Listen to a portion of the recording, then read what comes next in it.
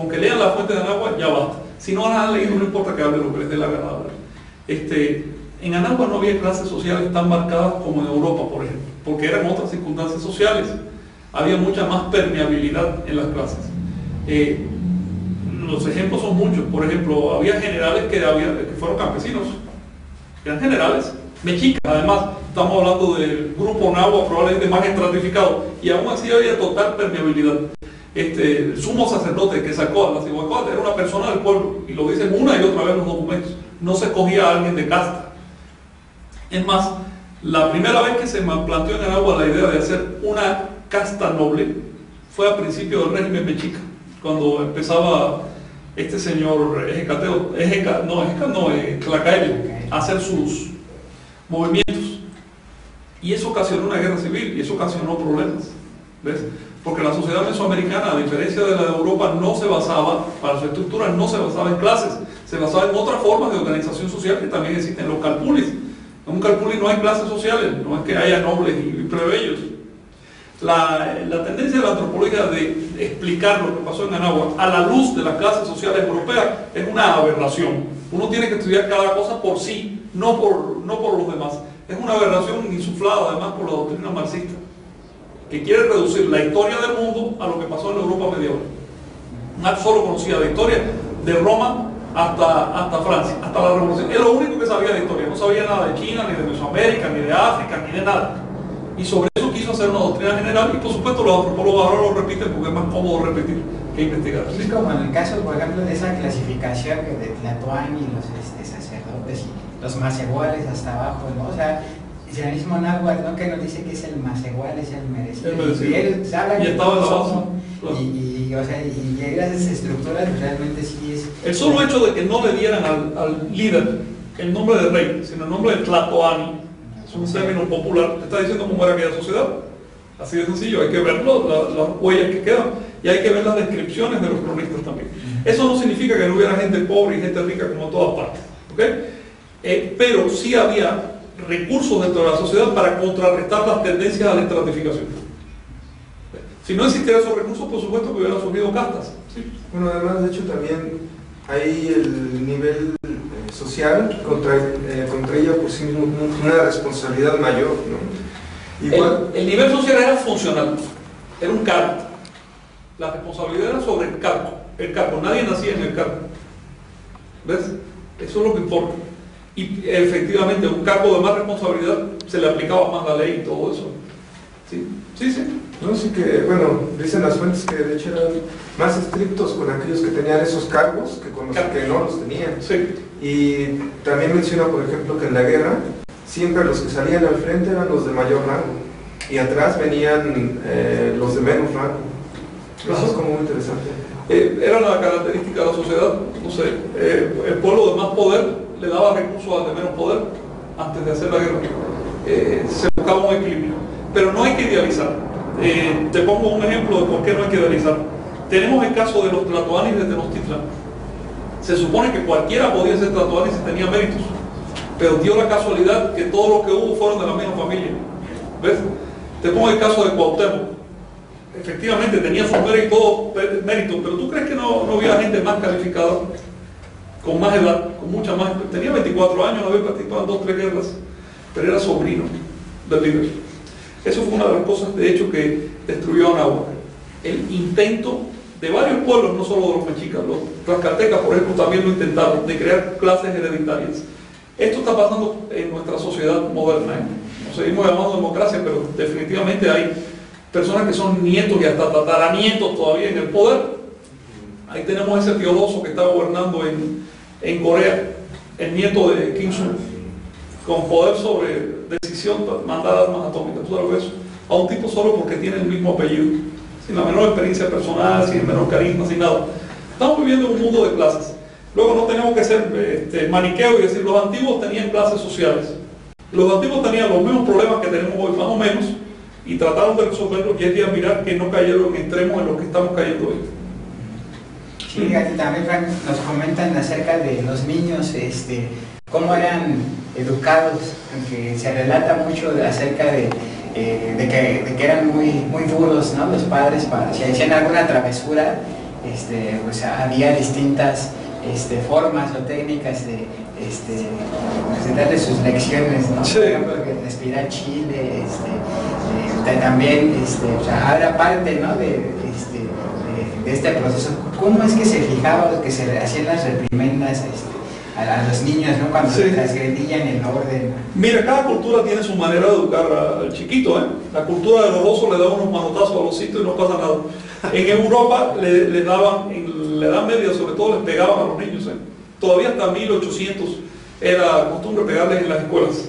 En Anáhuac no se veía bien pegarle a un niño, pero en cambio los enchilaban, lo cual era una cosa bastante cruel, con humo de chile, y los chiquitos aprendían. Sí, de hecho, como experiencia, yo nada más me he peleado una vez con mi hermana. Cuando, yo. Cuando teníamos, yo tenía como 8 años, tú tenías 3. Y todavía se acuerdan. Es que, es que estábamos jugando este, y de repente, quién sabe cómo, en lo que dábamos vueltas, llegamos a la cocina. Mi mamá estaba haciendo una salsa. Entonces se metió, este, lo vi, volvemos a ver los chiles, los agarramos y nos lo echamos en los ojos. Y, no, pues terminamos llorando con los ojos.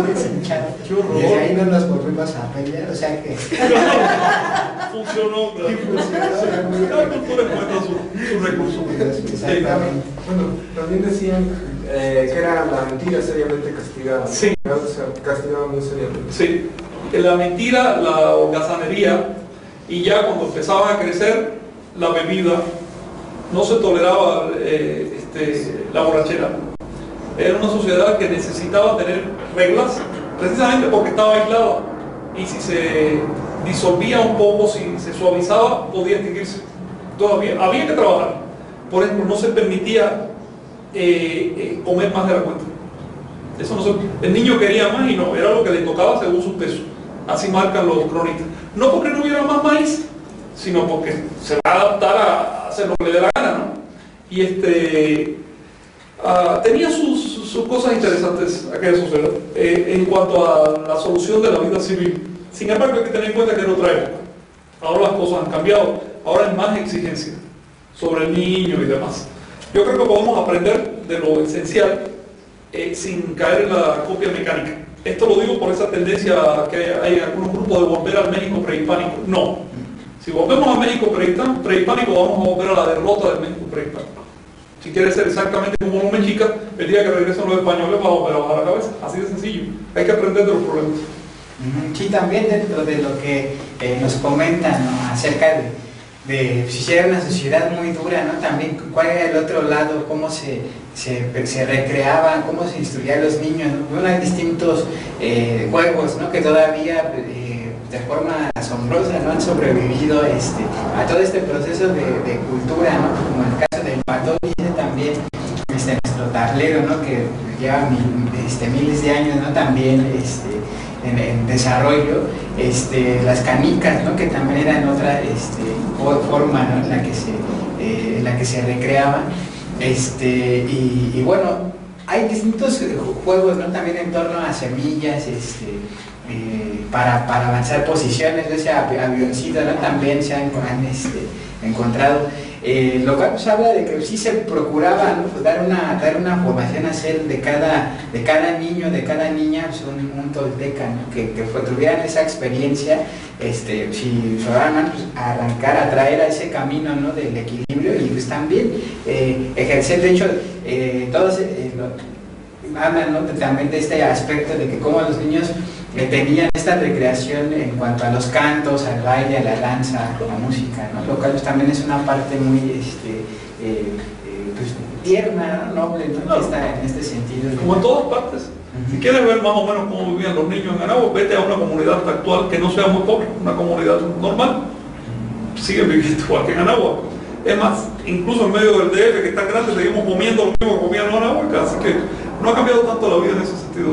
Sí, porque por ejemplo de la comida, ¿no? que hablaba de la- las alegrías, ¿no? que, este, que ahí se llaman el chicle, las palomitas, este, eh, ¿qué más eh, nos remiten ahí de, de- de las nieves, este, que son eh, pues, elementos que todavía se, se, se mantienen, ¿no? Una de las cosas que aparecen a cada rato en las excavaciones son juguetes articulados, muñecas que mueven los bracitos y las piernas y eso. Y te dice entonces que el, eh, toda la época ha habido la- el mismo Ah, Los mismos juegos, más o menos. Sí, desde inclusive los jaguarcitos, ¿no? Con las ruedas. este, Los venaditos con rueditas. Ujú. Sí, sí, lo cual pues, también este, habla ¿no? de esta este, diversidad ¿no? que, que, que- que había en el juego. Hay mucho por, por investigar en la Federación de, este, Mexicana de Juegos y Deportes Autóctonos y Tradicionales de México. Nos contaban que más de 200 este, eh, juegos ¿no? con tableros, así como el Padori, que es el más este, común, es, aparte del juego de pelota, ¿no? que también, este, de hecho, eh, interesante, ¿no? allá en la Cámara de Diputados nos comentaban de cómo, por ejemplo, en Cantona, allá en la zona este, de Puebla, Tlaxcala, este, eh, que tiene más de 100 canchas de juego de pelota, pero hay una este, de 2 metros que es para niños, es lo que comentan, ¿no? lo cual es, es muy interesante, ¿no? que también este, desde pequeños se les inculcaba también esta, este, esta práctica, ¿no? lo cual es Sí. importante. Fíjate, quería mencionar algo. Yo siento que la principal diferencia entre el modo como se enfocaba la niñez y la juventud en Anáhuac con respecto a nuestra cultura es que en Anáhuac no había adolescencia. ¿Ves? No había adolescencia. Eh, se saltaba de la etapa infantil para la etapa adulta, sin pasar por 5, 10 o a veces hasta 50 años de adolescencia. Había una pregunta sobre la, la comida. Por decir, eh, había una manera especial como de enseñar, o sea, había modales para la comida, cómo comían, cómo Sí. tomaban los alimentos. Los juegos católicos son insistentes en eso, en que hay que tener eh, una, una ética para, para todo, incluyendo algo así como la comida. La comida era sacramental. Ten en cuenta que comían maíz, estábamos hechos de maíz. Por lo tanto, estás comiendo un ser humano, ¿eh? Este, estaba comiendo el hermano maíz, al nahual. Eh, era, era algo muy tremendo comer. Había, por supuesto, una etiqueta. Entre las, cl- las clases, no, entre los grupos más ricos de la sociedad, la etiqueta crecía. Eh, por ejemplo, en la corte de Montezuma Motecuzoma, que fue la que se registró, eh, la etiqueta era muy compleja. Se trataba de cientos de platos diferentes, médicos de cabecera para que esos magnates no se pasaran. A Montezuma decían, un bocadito de ese, de ese ni lo mires, este puede olerlo, así le decía el médico. Este, había también, por ejemplo, cubiertos, servilletas, estaba la, la costumbre de, no no- se veía bien mascar delante de otra persona. Entonces entre los comensales había unos biombos que cubrían hasta acá. Así que separaban a los comensales de la mesa. Cada pueblo tiene sus, sus rutinas, ¿no? Eh, este, pero en general se apreciaba el acto de comer, era muy, muy simbólico. Se trata de una intrusión, es algo de afuera que viene adentro, algo que se sacrifica para que uno pueda seguir viviendo. De hecho, como ya les dije, este, lo que distinguía al acto de salir de Tamoancha, de entrar a este mundo, era la comida. Esto también se presta a malas interpretaciones. Hubo, hubo este, cronistas que dijeron que, que eran caníbales, ¿sabes? Porque a la comida se llamaba el hermano y pensaban que realmente estaban comiendo una persona. Si puedes pensar que el sacramento cristiano también es comer carne y sangre humana, simbólicamente. Sí, también en este aspecto, ¿no? Luego, este, la, la forma en la que se, en la que se comía, este, eh, o sea, ellos como tal, los cubiertos que usamos, eh, había formas, ¿no? Variantes. este, Sí, pues claro. De hacerlo también hasta inclusive los palillos, ¿no? Que se asemejan a los chinos para Y pues, los tacos, ¿no? O sea, también práctico, este, cómo se, cómo se realizaba, pero también interesante, por ejemplo, cómo se maneja la cultura, pues sillas como esta ¿no? en la que nos sentamos, pues no eran, este, eh, comunes, no nada más los tronos, Los este, viejos, pero, la silla para el viejo. ajá, Sí. y, pero el común, ¿no? Por ejemplo, este, ellos mismos eran su silla, su, su trono, Sí. ¿no? Para- Las sillas eran para- bajitas, las sillas para común de la gente eran bajitas y eran un cojín alto, de los más que se usaba.